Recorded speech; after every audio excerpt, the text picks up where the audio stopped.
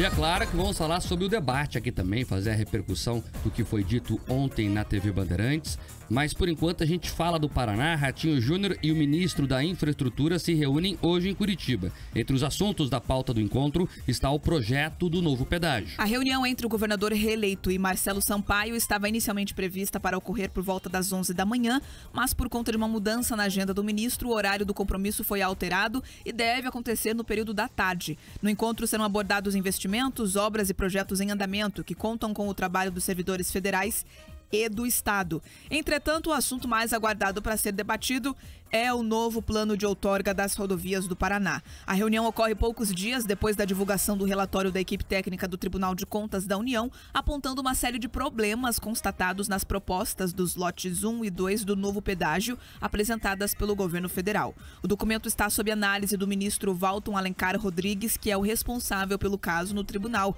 Ele ainda deve emitir aí um parecer final sobre as considerações realizadas pelos técnicos da corte. O TCU está avaliando desde o início do ano os editais apresentados pela Agência Nacional de Transportes Terrestres para os dois primeiros lotes da nova concessão. Somente após a liberação da corte é que o governo federal pode anunciar a realização dos leilões. O cronograma divulgado pela NTT prevê que os dois primeiros lotes das rodovias devem ser licitados ainda neste ano, com a assinatura de contratos com as empresas vencedoras apenas no primeiro trimestre de 2023.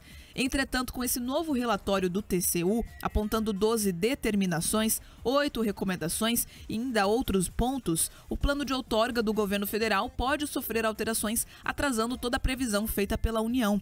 O Ministério da Infraestrutura adiantou na semana passada para o Jornal da Manhã que, se o pleno do TCU aprovar os apontamentos que constam no relatório da equipe técnica da Corte, o governo federal junto com o governo do Paraná, fará os ajustes necessários para lançar o edital da nova concessão. A expectativa agora é aguardar o resultado da reunião de hoje para saber se tanto o Poder Executivo Estadual quanto a União já estão se adiantando e também preparando essas possíveis alterações no projeto do novo pedágio. É isso, vamos acompanhar para ver como será essa reunião. Ela acontece agora pela manhã no Palácio Iguaçu e é importantíssima. O que será feito nessa reunião é juntar os cacos do que sobrou depois que o TCU fez uma série de recomendações, são pelo menos 20 grandes problemas, para tentar adaptar o projeto e para fazer com que ele ande. Isso é importantíssimo. É, o governo ainda trabalha com a expectativa de resolver tudo esse ano, o governo do estado, resolver tudo esse ano. Eu não acredito que isso vai acontecer. Até porque são 20 problemas que o TCU encontrou e esses 20 problemas, inclusive a sugestão da Corte de Contas é que seja aberta novamente a fase de audiências públicas para que isso seja debatido com a população. Se isso for feito de fato, volta-se a estaca zero. Não vai dar tempo de fazer isso em dois, três meses, que é o que falta para acabar o ano. Segundo, segundo o cronograma, que já foi alterado algumas vezes, Bia, era para ser em novembro né, o edital, aí o lançamento do edital, enfim, é, o start nesse processo. Né? Temos aí menos de um mês.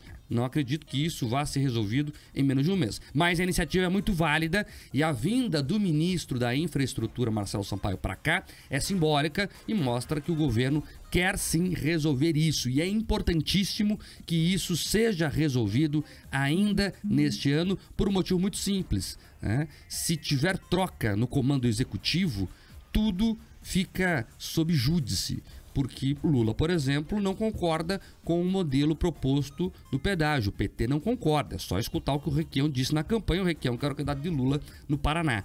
Então é importantíssimo que o Paraná resolva isso dentro da discussão que foi feita para que isso não seja levado para o próximo mandato e se tiver troca do executivo, aí o Paraná pode padecer sem pedágio e com mais bravatas do baixo ao acaba. Já sofremos demais com isso aqui no estado.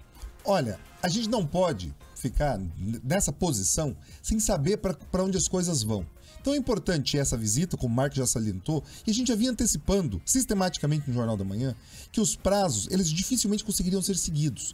Então essa celeridade, essa agilidade, esse esforço do governo do Paraná em resolver, ela é determinante. E as pessoas podem perguntar, mas por quê? Tá, tá tão bom assim, sem pagar o pedágio, a gente roda e não precisa pagar. Mas na prática, o que acontece? Você tem um impacto maior na possível tarifa ali adiante, e se você corre o risco de não ter um modelo como o atual, como o que foi defendido, inclusive pelo setor produtivo aqui do Paraná, que prevê uma série de investimentos que fortalece essa vocação do Paraná enquanto um modal logístico, que favorece o agronegócio do Paraná para as exportações, isso pode prejudicar a economia paranaense no médio e longo prazo. Então, esse projeto ele precisa andar e precisa andar rápido para que as empresas, as indústrias, os usuários, inclusive, tenham mais segurança, mas que todo mundo consiga investir sabendo que dali adiante o Mark vai conseguir escoar a sua produção e o Paraná continuar crescendo, inclusive a números superiores ao do Brasil.